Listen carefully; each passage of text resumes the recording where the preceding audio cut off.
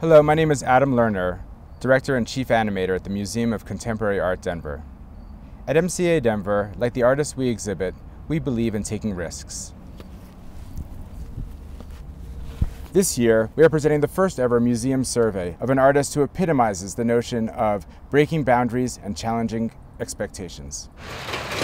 Mark Mothersbaugh co-created the band Devo, scored Playhouse and hundreds of other TV shows and movies. He has an enormous body of work that includes drawings, photographs, paintings, and musical instruments. Everything he does counts with the very idea of what it means to be an artist. I'd like to have MCA Denver's Picture Limit on what it to be art museum. At MCA Denver, we're laboratory for what the future of museums can be.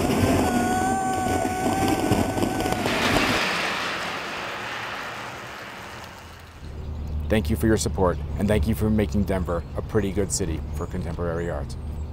From all of us at MCA Denver,